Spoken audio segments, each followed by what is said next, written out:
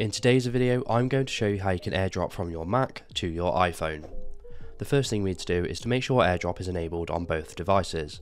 On your iPhone, you want to go to the control center, then you want to press and hold on the first segment, and you will see airdrop at the bottom.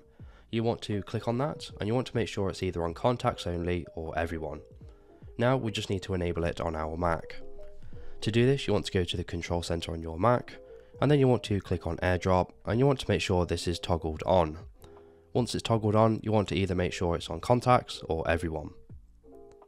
Now airdrop is enabled, we can go ahead and do the airdrop. So you want to go to your Mac and you want to find a file, image or folder that you want to airdrop to your iPhone.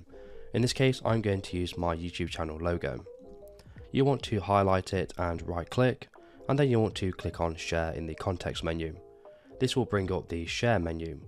From here you want to click on the airdrop selection and here you should see your iPhone already listed. If you don't you may need to unlock your iPhone. You then want to select your iPhone and it will immediately transfer the file to your iPhone and it should bring it up in whatever file format that you've chosen.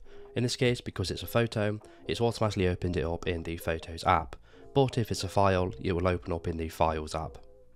So if this video is helpful please leave a like and don't forget to subscribe.